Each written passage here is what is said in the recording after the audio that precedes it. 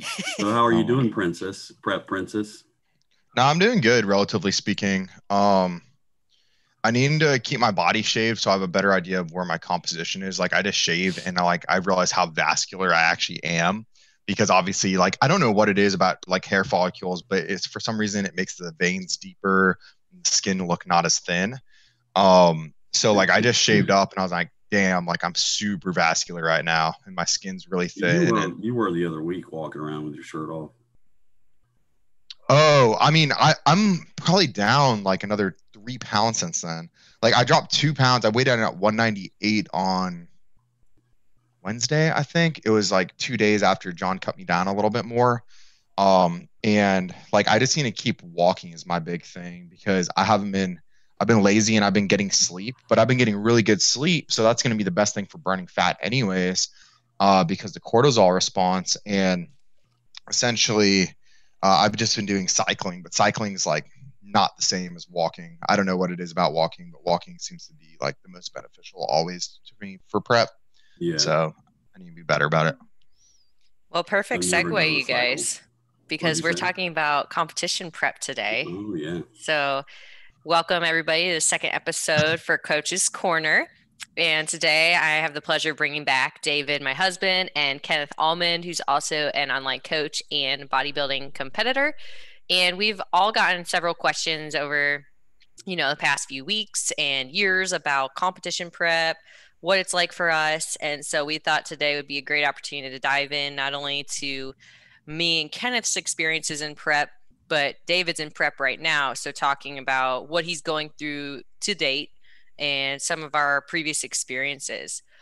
So, it's probably going to be a two part series because of how many different great questions that we have gotten, you guys.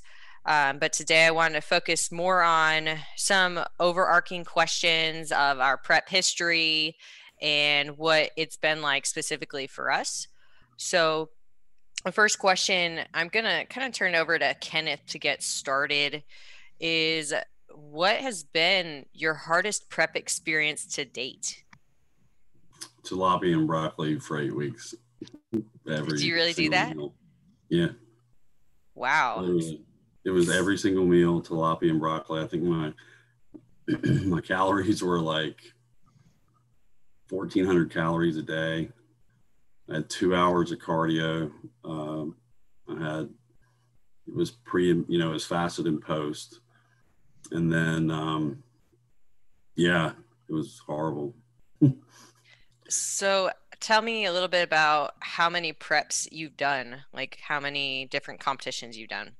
Only a few. Um, so I am uh, less experienced than you guys. I have uh, I've had life experiences hit me uh, in the midst of getting ready for shows and stuff like that. So um, I've started some and stopped some, and hopefully this time with John it'll be a little bit more consistent. And so it's uh, I'm not as seasoned as you guys are.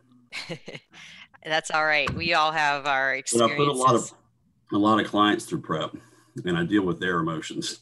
So you feel like you're feel like you're in prep too. Absolutely. David, I know you've had several difficulties in preps. What would you say is your hardest prep experience? Yeah, so I can one up Kenneth actually.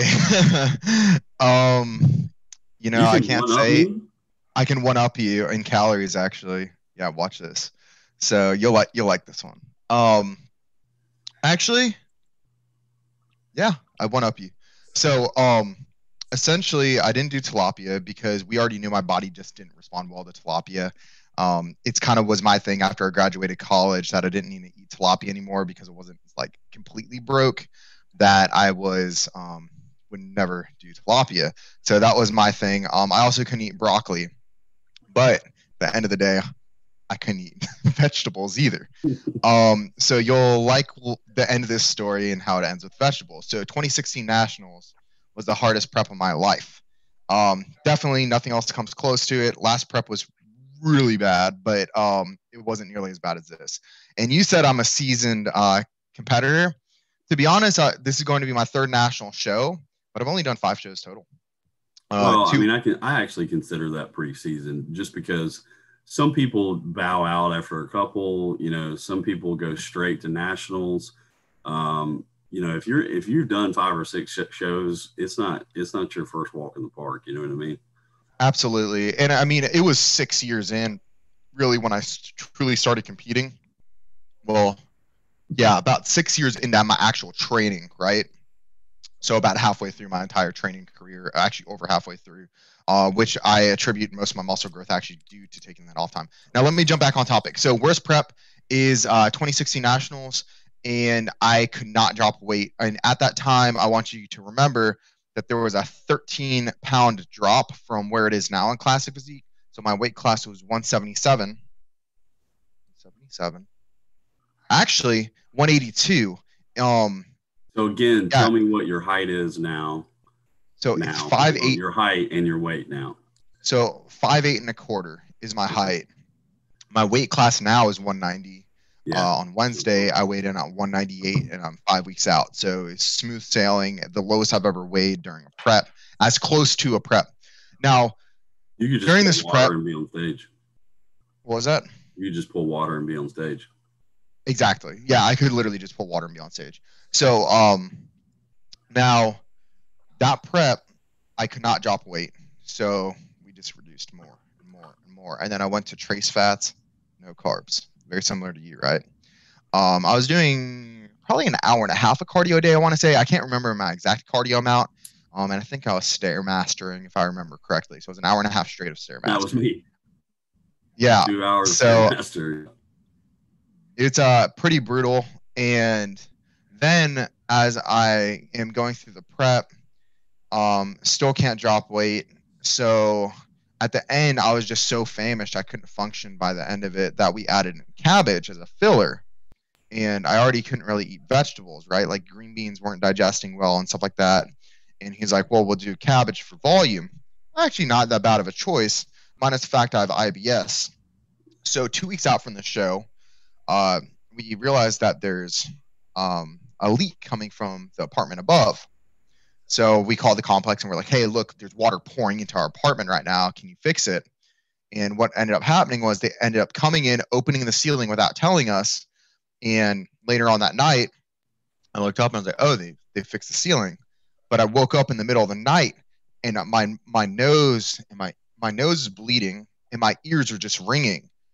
And I, my body felt like it was on fire from the inside out. Black mold, 100% black mold. I knew exactly what it was. And my sister woke up too. We were living together. Uh, my sister woke up with the same exact symptoms, like her ears were ringing. It felt like a bomb blew up in your head. And uh, immediately, like uh, my dad lived like 30 minutes away, so I drove to my dad's and stayed at his place. But it was already done. The damage was done to the nervous system, so it triggered my IBS. On top of it triggering my IBS, um, I ended up throwing up blood and having blood coming out of my nose for 48 to 72 hours triggered my IBS because it attacks the nervous system. And then I just skyrocketed in weight. I think I put on, I want to say like 10 to 15 pounds within that week, over a week period of time. I couldn't pass anything. Like I couldn't sit on, like I would sit on the toilet and nothing was coming out um, because of the IBS attack. So we ended up, I ended up driving out to my coaches and, um, you know, it's gonna, you're gonna laugh, but I hate smoking weed. And this is the first time he's like, dude, I don't care. You're taking a hit before you leave, just one little hit. And uh, sure enough, I take a hit, calm down the IBS, normalized me, um, and I did hopped on the stairmaster for two hours, pulled off weight like that. Right. So is is this a a political uh, push to get weed legalized in Atlanta over there? no, no. I, am a huge believer in CBD. Just, I think CBD does exactly. Yeah, I think CBD does exactly what uh, marijuana does as far as the medical uses for it. I think there's different uses.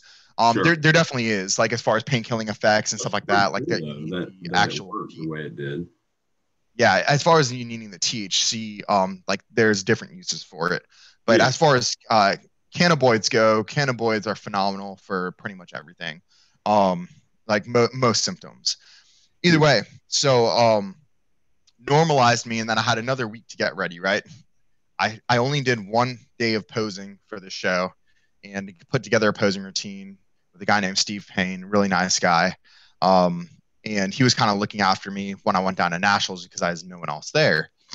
So go down to nationals um, a week early, took a week off of work, and hung out with my best friend on South Beach because he lived in Miami at the time.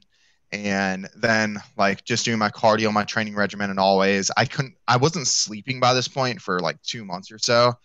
And what ended up happening was I stepped on the scale four days out, no, three days out from weigh-ins, and I was 22 pounds heavier than my weight class. So, Oh my. um, I uh, T threw the hell out of myself, and I was doing cardio. I was sleeping max one hour a day if I was lucky, and I was doing cardio 4 a.m. to 8 a.m. Waking up, going to the gym, why are you a bodybuilder? Why are you Why are you still here? I don't understand. do- uh, doing cardio, dude. I uh, so IBS attack triggered by the way, so I wasn't passing again at this point. Um, and obviously I didn't, didn't travel down with like weed or anything, so I didn't have any a source resource for it. And uh, I'm like, how am I going to pass? I was like, if I can't pass, I'm not making weight. So what ends up happening is uh, my best friend ends up uh, going to his girlfriend's place at the time. They're now married, and sleeping over there. And I passed out. I finally got sleep. Slept for like six hours or something like that. I woke up. I can't make this up. It was like an Austin Powers when he's standing there peeing after he gets cryogenically unfrozen, um, peeing in the toilet for like probably 10 minutes or so, maybe 15 minutes is like how it felt. And it probably wasn't that long, but it was probably a five minute long pee. Fell back asleep for like another hour, right? And I did an emergency bowel movement where you take your fingers and you basically dig it into your uh, your intestines and you like move it around like this. Woke up about 30 minutes later to an hour later and passed. I stepped on the scale the next day and weighed 12 pounds less. And I made, ended up making my weight. So it was like 10 pounds probably the first day, and I ended up excreting out about 10 pounds. Oh, wow. Um, Mm. so I ended up making my weight class, and I was so pale because I'm pretty sure what ended up happening is the blood left my like the pigmentation that was near my skin, like all the blood flushed into the organs to make sure that I didn't die. Um, so that's uh that was my crazy story, and I was like I said during that prep, I was at like 200 grams of protein, so it was 800 calories a day for I, th- I want to say like a month to a month and a half. yeah, that's crazy. So and I think I got I, I sorry, I did get some refeeds in there, like two or three refeeds, I think, and that was it. So I will I will tell you one thing the, about that particular prep. So there was a point where I it felt like I had blacked out and I pulled into this soft serve ice cream place. And the next thing that I knew is that I had eaten an entire tub of like soft serve ice cream with all the toppings and stuff on it. And I called my coach sort of like in a panic. It was only like three or four weeks out. And I was like, I don't know, man. Like, I don't remember it. I don't remember like even pulling into the parking lot. And I'm I'm literally I have two feet out of my car with the bowl in my hands empty on the phone with my coach, almost weeping. And uh, he's like, Kenneth, it's gonna be okay. You're probably you're probably gonna wake up tomorrow and look like a million dollars. So just it's gonna be okay. And sure enough, I woke up the next day and I looked great. I, but man, it messed me up, boy. I was, I thought I ruined everything. Okay, so I Caroline, I need to play off that story really fast. So this is when Caroline moved down here to end up moving in with me, right? And I was at my mom's place because we had like a week or two week intermission before our apartment lease started, and uh, I was three days out for my show. Uh, she came down the week of my show, and either way, I'm uh, I wake up the next day and I'm driving into work and I have like a weird texture in my mouth, right? I'm like, what the hell is that? And then like it, it's like a sugary feeling. I'm like, okay. And then all of a sudden, like I had like a flashback of like the bottom of an ice cream tub container and just like a little piece left, right? Like literally, I was like, the heck? Okay. Text Caroline. I'm like, hey, can you just check the freezer for me really fast? Like, please. And um, she's, I was like, check the ice cream container. And she's like, what? I'm like, just let me know if it's empty or not. And she's like, there's like a bite left. No. yeah, blacking out eating ice cream. Yeah. I will never forget that because it was literally like I can't believe that he did this. And we live right we had been living right up the street from a new ice cream shop that had just opened up too and I'd been talking about wanting to go there. But Right. So and he he eats all the ice cream in the house. Right. yeah. So needless to say, it sounds like you two were prepping for a bikini back in those preps. But uh, I can't Yeah. say I've ever had anything as crazy as you guys. I also haven't ever had my calories that low. So thank God. Um, I've actually done, I just totaled it up. I've done eight shows in the past five years. And so of those shows, last year, my last figure prep going into junior USA's was probably the hardest on me from a mental and physical standpoint. I was working a full time job, same company I'm with now, and it's a 30 minute commute in the mornings. But I'd have to get up at 4:45 to do 70 minutes of cardio, be able to shower, put some makeup on, put clothes on, get You're out the door. 70 fasted? Yeah. Wow. So actually, I take that back. I was doing 50 fasted and then 15 post workout hit. So that was um Ugh. that was during my prep from figure. Now, the hardest part was that lack of sleep because I would be getting up so early and I wouldn't get to bed until like 11 and I you know, when you're on any type of stimulants or performance enhancers, you're not sleeping well. My sleep was terrible. I don't I didn't smoke or anything to try and relax my body, just typically take some sleep aids. So from a mental physical standpoint that was hard and then David was prepping as well and just for me the amount of stress to prep myself and then help him on top of that was just like a compound effect. So to be honest like like you guys said, I don't think I've ever had like the issues with the food like that. Like I actually am really good as far as like the amount of calories I'm able to eat or not suffer too much when I get to a thousand or slightly below a thousand calories, which is usually only like the last three to four weeks. So, actually, on that note of food, um, one of the questions that we had gotten was what are some of our cravings and how do we overcome cravings? And I'll actually touch on it first. So, usually the only cravings I get is for different textures. So, I typically like crunchy foods, or I'm really craving like salt, or I'm craving something that's like more fluffy consistency, especially if I'm you know, eating turkey, avocado, and vegetables. How do you change that up? Air fryer was the number one thing that's changed my world. Best Christmas gift Christmas gift David's ever given me because I literally use it every single day. And like for sweet potatoes, I couldn't eat regular baked sweet potatoes. I put them in the air fryer and make fries. Yeah, Or my my vegetables, throw them in the air fryer and I make David asparagus fries for prep right now. So like those types of things that I can change up the texture. Um, I actually uh, enjoy that more. And when I'm trying to like overcome some of those cravings, it's just like, how do you experiment a little bit in the kitchen? And I'm lucky that I'm pretty good cook and baker that I can do that.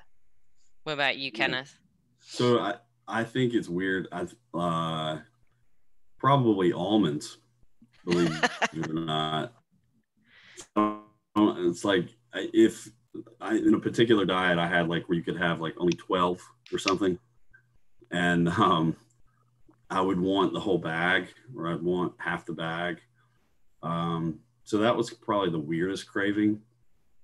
Of course, you want a burger and fries or whatever um, depending on what's going on, but nothing crazy. Just, I'm pretty, in fact, I look back at some of the times I've dieted and the amount of focus that I had was so significant that sometimes I look in my regular life and I'm like, where, where did I pull that from? And why can't I get that right now? Because I need to get my act together. But yeah, nothing crazy, you know. But if I got on Instagram and followed those food for, food porn, you know, pages, then it would be 10 times worse. Or I would catch myself with friends like, oh man, I saw this mac and cheese on the Instagram page. It was amazing. and all you know is that you're talking about food with your friends and that's all you talk about. It's really weird. Mm-hmm. everybody likes to have something to have in common. So right. i actually have to block the food pages during prep or hide them because i follow a lot of baked good pages. So i get a lot of sweet cravings too. What about you david? What are you craving right now?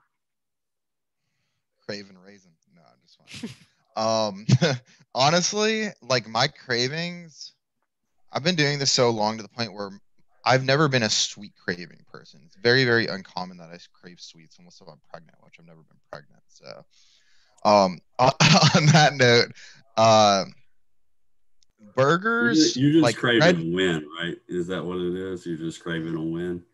Yeah, exactly. Like I'm like, well, this time I'm really hungry for a win. Like I'm actually hungry for this win. Like where I know I'm coming in full steam, full steam ahead. Um, and there's like no stopping me kind of thing. I'm going to bring my best, and if I lose, I lose, you know. But I, it's it's going to be um it's going to be a pretty solid package what I pulled together this time. But now, uh, as far as craving goes, like it's always going to be red meat for me. Um, red meat has always just been my vice. I'm really, really, I respond really well to red meat, and I think that's the reason why. Um, I'm an O blood type. I digest it very well. I can eat three pounds of red meat a day and not have any digestion issues, which is very uncommon for people. My blood works always fine when I do it. Um, like if I have, uh, I'm not even going to go into too many details, but yeah. So that's that's my craving. Um, I crave salty foods, um, but I do ne- I never crave sweets. So I can always add more salt to my meals, and I very heavily season my meals. You can ask Caroline. Caroline couldn't cook for me for the first two years we were dating because she wouldn't season my food heavily enough, and I'm like, put salt on it, and I'm like, every single time me, she cooked. Uh, let me let me tell you a quick story. So I used to love my oatmeal, um, and I only got the oatmeal at a certain point in the diet, right? And then that came out, and that's like really sad. And it is sad for some of my clients too, because that that happens to them. And um, but I used to season it with cinnamon. And the oatmeal would get so dark from the cinnamon that it was like a, it, it almost changed texture. Mm-hmm. Well, I was dating a girl at one point and um, I'm eating oatmeal and she's like, well, I'd like some oatmeal. I was like, okay, I'll fix you some. So I fixed it the way that I fix it for her. And she literally took a bite of it. She was like, there's something wrong with you like that is the nastiest stuff I've ever tasted in my life because the cinnamon was so strong. I bet I bet I put like I don't know four or five tablespoons of cinnamon in my one cup of oatmeal, but I, you didn't even taste it on prep. It was you were like, oh, this is great. I don't know why. You ever had that happen? Yeah, so um, I was gonna say when I did have a sweet craving because in my first few preps, I think I had a sweet craving. My, maybe my first two or three max, maybe my third. I can't remember if I had it in my third. Um, but uh, stevia, liquid stevia, just came out. So stevia and cinnamon was my vice, and like a lot of trick that I will give people is cucumber, cinnamon, and stevia. Period. Like that's the best. Now I'm the opposite where I want salt, so I do cucumber and salt and as long as I'm getting my yeah. salt intake, I need to have salt on food. You don't want to add salt into a drink. That that's like drinking the ocean water. Um, so needless to say, that's the kind of go-to that I give people is like cinnamon and stevia is an excellent combination for really knocking a sweet craving. Cinnamon tastes sweet alone if you add it into something, but then stevia is literally sweeter than refined sugar anyway. So you don't need a lot and it goes a very very long way and the conjunction of the two is phenomenal so yeah it's very fun how you can kind of trick your mind when you're eating different foods. So on that note there was another question that we got about how do you control that hunger or appetite? And one thing that works for me is i try to number one you drink a ton of water and obviously you don't really need to yeah. cut water until getting ready to show. But number two something that is a trick of mine is i like to do teas and i like to do crystal light um, throughout the day to change up the flavor because that's usually what it is for me is i don't want to drink plain water all day but if i do like a cup of peppermint tea after i eat a meal then i'm thinking about drinking that tea instead of thinking about oh when do i get to eat again or maybe mid afternoon during like the workday, I'm just like dreary. I'll put a packet of Crystal Light. Some of them have caffeine added into them. Um, you just have to be careful with artificial sugars, is from my experience. I try not to do them like the week of a show or like a week and a half before 10 days before a show. So that's something that I like to use. Yeah. Have you ever uh, experienced um, using too much crystal light or like actually that's like I've read studies where it actually provides a little bit of an insulin response in a mm-hmm. very small amount. So for for me and my clients, sometimes I'll have guys or girls that don't really it doesn't bother them, but I have a few that they can't stand water so much that they're like Fouad Abiad, you know, and he like puts sweetener in everything and it actually affects their ability to drop weight. So you pull the mm-hmm. The crystal light out of it, makes their life miserable, but it actually uh, it actually works better from a diet standpoint. Have you ever had that, Caroline? Um, I myself don't typically have any issues. I did have an issue last year with a gut imbalance from eggs, and I found out I developed a food sensitivity to eggs because I was eating them so frequently. But as far as the artificial sugars go, I haven't ever tested myself or any on on any of my clients um, that. Yeah. Mm. David can probably uh, chime in though. Yeah, so I can chime in on that. And what was the original question, really fast? Um, it was uh, cravings. How right? do you, yeah, how do you overcome your hunger and appetite? Yeah, so hunger and appetite. Um, the easiest way to tell yourself what's going on is understand that it's a hormone response. It's literally a hormone that tells you you are hungry, you need to eat. So if you understand the science behind it, that it's literally a hormone that's telling you to eat, you know you can overcome it because it's a mental state by that point. It's a, literally a hormone telling you you're hungry, you should eat. Um, so that being the fact is as long as you keep your stomach full with water, like I actually only do water besides like my first drink of the day when I have some greens and some of my anti-inflammatory stuff and it's all all mixed up and adaptogens mixed together um that works well for me now when i get really bad cravings if i i am blessed with the opportunity where if i get really bad and i feel like a rat's clawing out my stomach and i'm not hungry i'm going to have some water and i'm going to lay down and take a nap and i'm going to wake up and i'm going to have another meal because that's kind of been my go-to this prep and it's been working relatively well not everyone has that option As far as crystal light, yeah, I, I can definitely touch on that subject. Dropping weight becomes an issue. Um, there is a, I'm not sure. So I've never seen studies where there's an insulin response, right? But I feel like there is an insulin response, if that makes sense. Now, in the sense where there is a gastric feedback from the crystal light, and it can cause gut distress. When you get gut distress, you can get inflammation in the gut. So it's going to make it hard to drop weight, especially when your gut is imbalanced and you're retaining inflammation within the body, and that's extra fluid. So on the scale, it will represent itself definitely. Um, I have had issues with my gut. The most I was able to ever to do crystal light was half a crystal light packet a day, and I have not needed it this prep. I'm staying away from it this prep. I'm not touching it. Um, so that's my stance on crystal light. I think it's one of those things like for a craving, you kind of just need to suck it up and drink water and like find a way to get your mind off of being hungry and just understand that it's your it's a hormone that's telling you that you're hungry. It's not that you have to eat.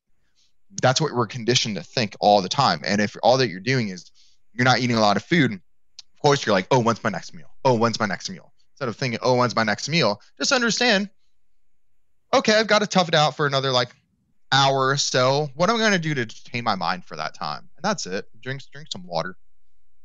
Yeah, it's actually um, a good point about that, David, is keeping your mind busy. And I actually find that because I'm in a work office and a work situation, packing my meals every day and only having those certain amount of meals to think about and knowing that that's all I get to eat is super helpful for me. And like another tip actually I think I was the first one to do this, David, and then you started picking up on it, is using like a baby spoon to eat because then you're eating smaller bites. and you don't even think about it and you can enjoy the food a little bit longer. You know, so it's funny because I think I may have done it last prep with uh, sugar-free Jello. Sugar-free Jello is my vice last time, um, and this time I'm not doing that either. I'm just staying away from it. Because that I feel like I do have an insulin response to of some sort. Um, needless to say, I used to do it at nighttime before bed, and I just stopped doing it altogether. Um, but yeah, the baby spoon is what I use for that because I would get like more uses out of it. So I didn't have to cook as much Jello. Is really what the reasoning behind it. But as far as using a baby spoon this time, I haven't needed to. Um, and I'm not eating that much food right now, anyways. But I just get it in and understand like I'm not going to eat for X amount of time. Mm-hmm. Absolutely. So another question that's kind of um, a different topic that we'll focus on next is more on the training and how you feel like your strength changes throughout the prep. And so I'll go ahead and start for me is I know like there's certain points in the prep where all of a sudden my strength it goes from up here feeling like I'm off season to plummets to feeling like I'm back to amateur one year into the training. And it's usually like I want to say like seven to eight weeks out is when I really start to feel it. But also, that's usually when the cardio is getting amped up. If you're adding in any special supplementation, that's usually when that's added in. And a lot of times, that's when your body is really starting to feel and see those physical changes. So, I think that's usually for me, like my training I don't change my training. I'm still doing more of like a progressive overload style of training. But I notice I, Yeah. Okay. And I still try and keep that volume load at a certain amount, but I have to decrease the weights. What about yeah. you guys? Yeah, for me, um, I it depends on how many drugs you're on, right? Mm-hmm. So uh, if if you're on a decent amount of drugs, I've even seen clients strength increase and you have to, you know, hold them back and tell them don't go balls to the wall with the weight, you know, keep your rep ranges higher. Um, you're trying to train the muscle for depletion and you're not really gaining muscle in particular phases. But um, I would agree with you, Caroline, from like an eight week standpoint, but that four weeks out it's pretty uh pretty bad if you're not sup, you know you're not doing drugs or supp- supplementing correctly. Um, but i've seen i've seen some guys go from pretty, i don't know pretty freaky stuff and being pretty freaky lean um, four weeks out. So i always try to keep keep a rein on them mm-hmm. david? Um yeah so my last prep was a different story than this one, but that's the weakest I've ever felt my entire life. Um, I peaked like three months out. So uh, this prep, I can speak to kind of the drug aspect and how I feel considering I don't really do anything in the off season like a lot of people do. Um, I was also recovering from surgery, so there's no reason for me to. Now, I started my prep at 5,000 calories and I was burning through body fat. Um, and then he just reduced me down just to reduce me down, even though I was still burning because I have a weight cap to hit. Now, I started prep at 365, I want to say, for like a set of eight on squats, maybe two sets of eight. When I was four weeks into prep, so eight weeks out, I was doing 455 for two sets of eight and my calories were reduced by 2000 from the start. So i was at a 3000 calorie so 2000 calorie drop from the start uh, in those that period of time. Sometimes when you get leaner what from my personal experience and you feel healthier you're stronger 100% of the time. Like the power lifters that just get morbidly obese to be stronger if they were leaner i guarantee you they'd be stronger. Um, it's less pressure on the heart they feel more athletic your breathing habits are better um, not to say that inertia is not a thing, but um, either way, uh, I have been getting stronger. Now, I will say if the 455 for eight um, was almost an injury, like it was very, very close to an injury borderline. Um, but that's the most I'd ever done was 455 for two sets of eight. And then like yesterday, I was doing legs and I did the routine was Bulgarian. I, I went to the gym with the incentive because I had back squats for a third You posted movement. a video, you posted a video or something yesterday, right on it? Yeah, yeah. So it that you saw that protocol, right? So it was leg curls Yeah, to yeah. start, Bulgarian split Yeah. squats of death, which you're pretty much toast by. And I had intentions if I could get 315 on squats for multiple sets and reps, I was going to be happy. I ended up doing four or five for my sets. And then I went to hack squats. And now my hack squats I converted over to sissy squats because I was shot by that point. But still getting four or five for sets of eight. Um, and that's saying something, especially since it's not my first movement of the day. And that 455 was my first movement of the day. This is my as after Bulgarian split squat. So I'm technically increasing my volume load. Um, I think the biggest mistake that people make is they reduce their volume load too much during a prep and they flatten out. Their muscles look stringy. They're not full. They're not dense. If you want dense muscle bodies, you gotta lift as heavy as you can for as long as you can without tearing something. If you can be two weeks out, like Ronnie Coleman deadlifting 800 pounds, which I just don't recommend to anyone, then do it. But Ronnie Coleman was Ronnie Coleman, right? Hold he could have gotten hold on. more. We can't we can't be talking like that, David. Nah, Not- can, we can. Not, not with people not with people listening. They're gonna be like, well, David told me to be Ronnie, Ronnie Coleman. and the next thing we know, we've got injuries on our on our hands. And I'm like, nah, man. Like listen to Okay. your coach. That's what I would Yeah. say. Listen to your coach because he knows your So- body well. Or she. So here's the Oh, thing. right. Uh, like knows, yeah. look at your off season, whatever you're doing in your off season, right? Without supplementation at all, no drugs involved. What you're doing in your off season without supplementation is very safe to do on season with supplementation, with super subs. That is where I like to keep it. I can do 405, 365 to 405 any given day of the week on a squat. That's where I know I am safe. My body's used to the stress load. I'm not going to get injured. I'm going to be slow. I'm going to be controlled. If you can't be slow and controlled, back off the weight because you're going to rip something. As soon as you're not slow and controlled in a movement period, back off the load. Yeah. Yeah, that's good. advice. I just didn't want I you know how hyped up they're like, David told me to do something. I'm gonna do it. you know, next thing we know, then we got DMs, you know, people sliding our DMs going, yeah, well, I tore a, I tore a calf, I tore, a- tore a quad, or, and, you know, it's like, oh my gosh, what in the world did David do? So, So to add on to that point, Kenneth, David needs to listen to this piece is yes, you do need to train with that intensity and that high frequency and heavier weights. But that's where you need to find the balance in the stretching and helping those muscles lengthen. And David can attest to this. He's had injuries within this prep because he did not stretch enough or he didn't take the time to take care of the muscles in between sets or after the workout. I've gotten a lot better about it in off season. I'm better at it in off season than I am during just because I go into the gym with the mindset of in an hour to an hour and a half I'm crushing it.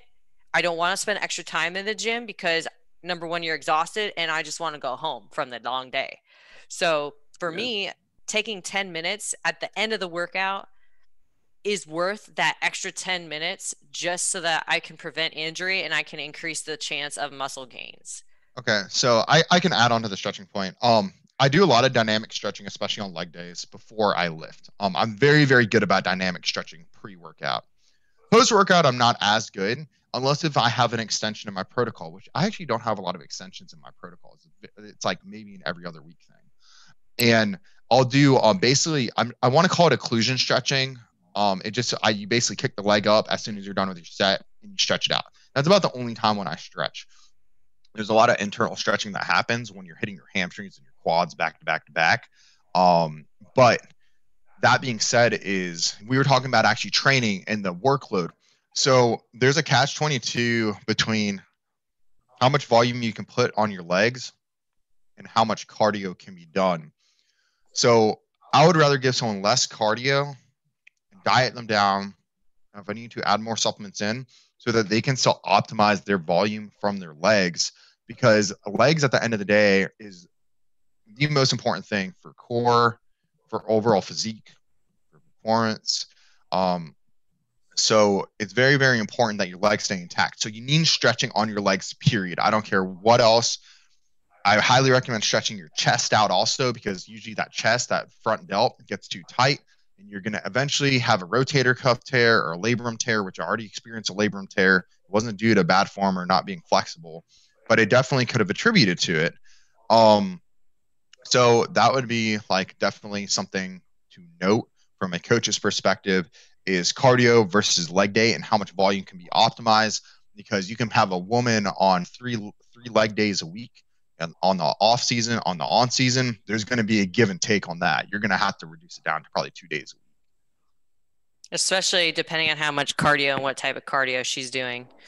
And that's where I've found for me and some other women that I've worked with is you can't do as much HIIT training especially if you're focused on the legs, whether it's bikini, wellness.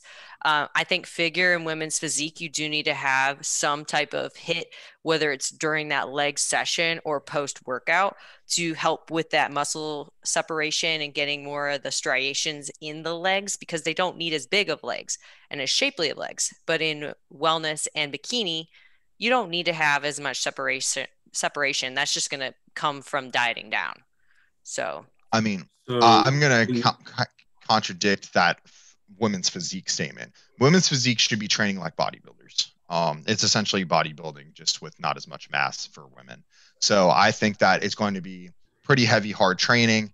I don't think that they need HIIT training. I think low intensity training with some heavy movements is going to get that really dense muscle fiber look. So that's just my personal opinion. Mm-hmm.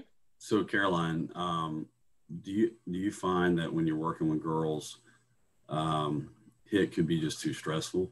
Absolutely. I'll yeah. tell you my personal experience. My first ever preps, I was doing HIIT training as my cardio six days a week. And I would either do Stairmaster with intervals of 30 seconds hard, one minute to 130, like medium, or I was doing rows for 30 minutes going up in intensity for like I forget how many meters I had to hit. It was like 100 meters, and then I would rest, and then I'd do it again and do like a pyramid effect. My CNS is blown out. And that was probably part of the reason that I lost my period and had mm-hmm. issues with that for a few yeah. years.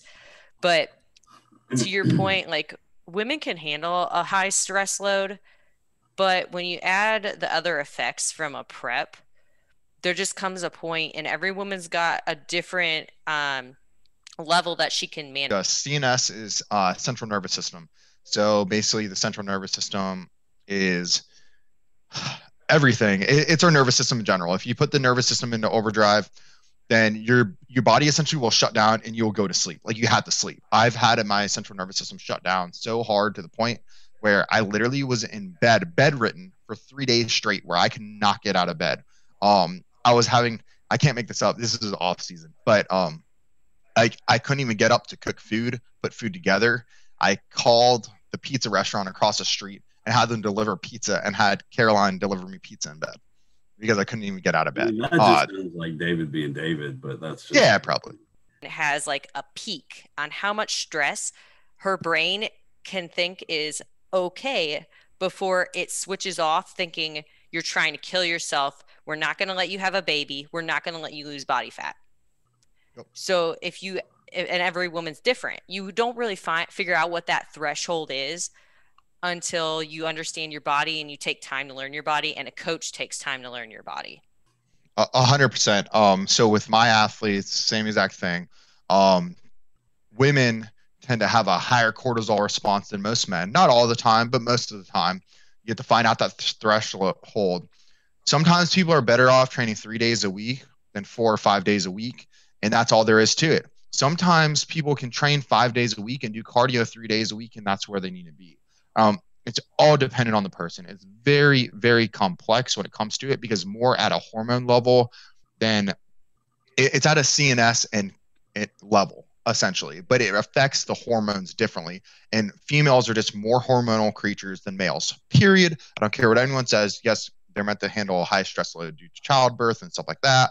But that being said, is they tend to have, from my personal experience, a higher cortisol response. And once you become insulin resistant due to a cortisol response, goodbye to dropping body fat and congratulations you now have an insulin resistant client that you're now going to have to recover because you're probably pre-diabetic and insulin uh, resistance is the number one cause of pcos so you're going to have all these different layers and is acronym for a polycystic ovarian syndrome which a lot of people think it's development of cysts in the ovaries which is actually incorrect.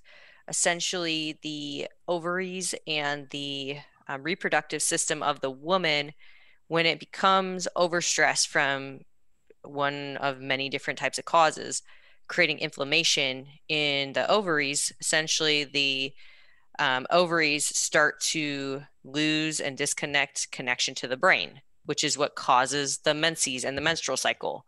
So it can cause issues whether it's you're losing your period it's causing irregular bleeds it's causing weight gain it's causing mood and um, irregularity to um, your overall like composition and the way that your activity level is um, feeling low fatigue so pcos in general is something that is actually one of the most common symptoms that women can get based on their hormones and their energy but also their food intake.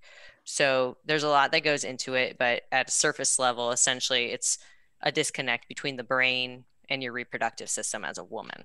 We haven't touched on in this episode, which, if you guys want to, we can dive in deeper in another set, uh, series, is the addition of the PEDs because certain women are going to respond normal, like they're just a day in the life and other women, they're going to get more anxiety, they're going to get more inflammation. Maybe if they're taking something that's a faked product, you're going to get holding on to water. You're going to have a whole boatload of issues come up that are affecting that hypothalamus ovarian axis. What did you just? Oh, perfect. But um, one last thing I wanted to touch on today. We've gone over quite a bit, and I think this has been a really good in depth session, and we'll touch on some more in part two. But what would you guys say is one of the things that, whether it's a brand new competitor or somebody who's just getting into competing or a seasoned vet, what would you say is that one thing, and I'm limiting you guys to one, the one thing that will make or break somebody in a competition prep? You I'll mean, go ahead. Uh, you go mean um, like I guess to be a little bit more specific, you're just saying there's got there's probably one thing that is just going to make them fail. Is that what you're saying? Yes. Okay.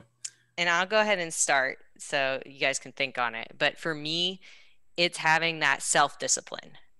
And that's where, like, the past five years before Dave and I were a thing, which a lot of people don't realize this, was both he and I did bodybuilding separate before we even knew each other. And I was actually living in Nebraska when I first started bodybuilding. I didn't have anybody I knew out there who was doing the sport or understood the sport really. And so I had to have in my head, I had to develop this this fortitude, this mindset of this is my goal. I have to do these certain things to achieve this goal. And yes, I've always been disciplined, but I I think that bodybuilding alone has developed more of that discipline within me.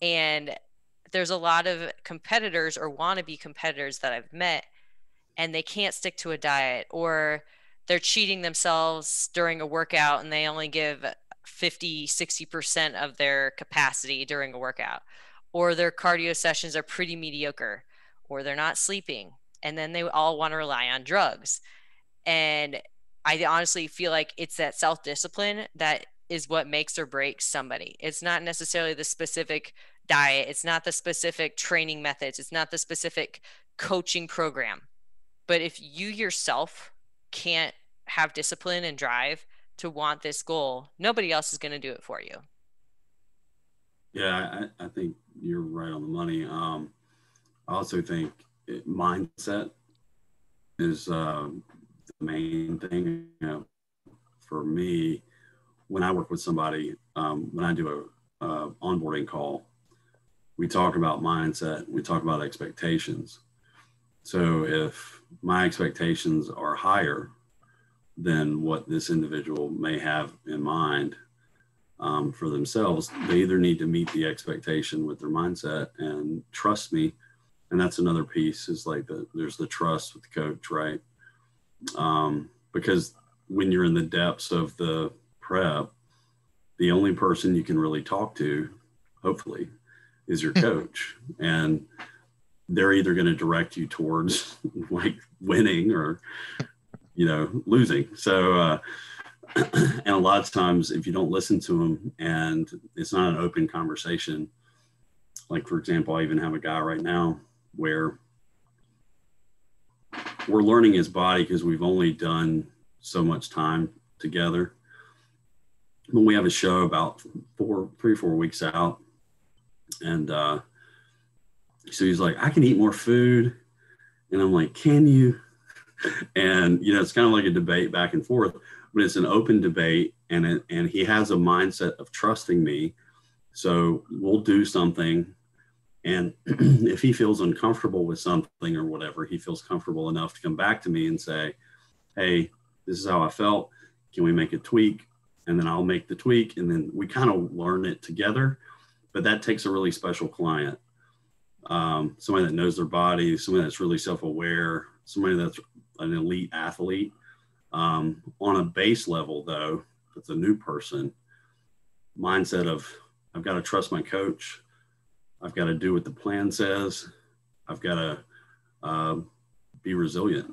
I think that would probably be the most the one thing or several things sorry mm-hmm. you limited me to one it's all good.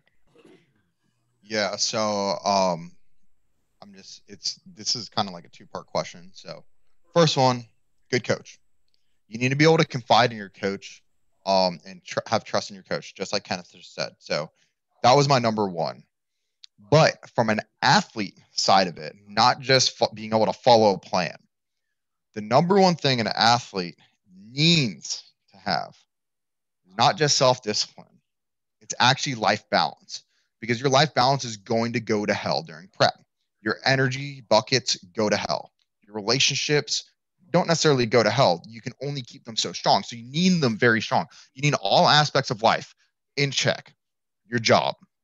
You need to make sure that you're secure and that you're doing keeping up with a workload and that your boss trusts you and that they're semi understanding that you're going to need a week off at some point, right? Because you should take a week off during prep uh, during your uh, for your peak week, in my opinion, because uh, it depends on how rough the prep is.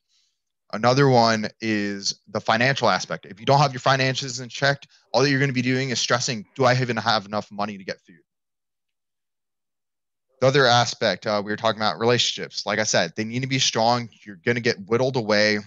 I get emotionally and physically numb. It's just what happens. I get spiritually more in touch but you need to have that balance before going into prep or else you're putting the cart in front of the horse what happens when the cart's in front of the horse the horse is going to trip over that cart and congratulations now you're on the ground and you come out of the show with literally nothing what a plastic trophy congratulations your life's in shambles now all right that's my thing I don't know. That that's just blunt, but that's just the way it is. You have to have good life balance. You be strong because if you're not, if, your life is in shambles. but I've seen it time and time again where like people are like their lives are in shambles and they and then they start taking drugs afterwards, like after bodybuilding shows. Like it's that people tend to be, and we already touched on this last episode, but people tend to be attracted to the sport based off of hardships and that's why it's very important to have that life balance, that spiritual balance, that emotional balance, that physical balance. All aspects need to be in check before going to the show, or else your mindset can't be good. You won't have a positive outlook. You're always going to be stressing. Your core, stress like everything. Like you've got to have everything in check before you do it. No, it but doesn't that, mean your life. That goes back. To, that goes back to number one. Your coach is really managing into that point. And it, if your coach isn't managing your mindset and your life balance, then you're kind of up the creek anyway. A hundred percent. You're you have to be able to confide in your coach about your relationship issues and all that stuff. We're basically psychologists by this point. But well, yeah. um Sure. So, uh, like, that's why I said my number one is a good coach. But from an athlete standpoint, they have to have their life in check. And if all of the ducks are row and all line, and, and it's pointing in the direction towards, hey, you can compete, go for it. Yeah. And I will add on to that point, David, is a lot of people get into this sport and it's kind of their saving grace in a way.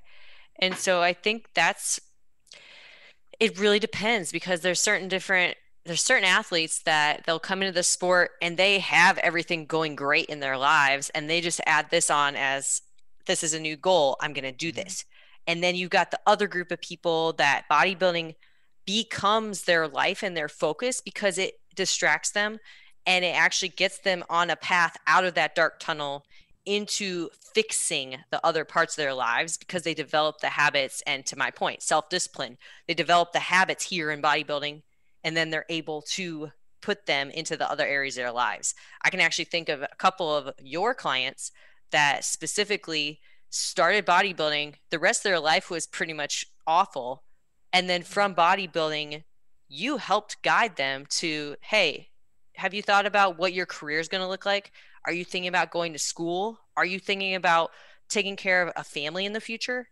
And yes, exactly like you said, we want somebody who's coachable and we need somebody who's going to be able to depend on us to help them.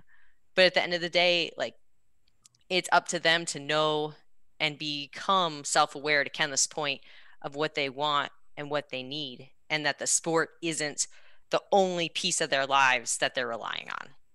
Kenneth, you'll like this one. So my f- first client I ever worked with to this day, like he was my first one, like five years ago or something like that. Um, probably coaching for like two years or so. I kept pushing school on him. He walked up to me the other day. He's like, "Hey man, I haven't announced anything, but I just want to thank you. Um, I just graduated college." So he got his bachelor's degree and he thanked me so much. He's like, that's the best advice I could have ever gotten. So thank you for pushing me. He actually told me he told his mom, by the way, I graduated college because my first coach was pushing it on me. And uh, I decided to st- tough it out and get through school. Yeah, that gives me some goosebumps, dude. That's pretty good. Um, it, it, it's chills, man. It, it, it brought like, I almost want to bring tears to my eyes, but too bad I'm in prep. I'm not that emotionally. emotional. Yeah, I would say that like if if if if you have a coach and they're not thinking about you holistically as a person, um, then you need to really reevaluate what's going on because everybody's leading somebody, and um, so like I'm I'm following John, I'm following some local guys. I'm those guys are leading me towards good, healthy goals and good, healthy, balanced lives. And um, and you have to be self-aware as a coach. Where am I leading my clients? And then you have to kind of look at your clients and say, who's who's following you? Are you paying attention? Anybody, you know, who's watching you? And uh, so it's kind of a cycle, but um, yeah, it's super important and such an encouraging story too that you could change somebody's life. Mm-hmm. Absolutely. And I think even today, right, during this podcast, if there's somebody who's watching it and they get impacted by something we say, or they share it with somebody and that person gets impacted by something we say, just that little incremental piece of, you know, we're possibly helping somebody, I think is the most rewarding part of the sport, but also as a coach and as a human being bringing that positive light. And David always says positivity brings more positivity. And it's true.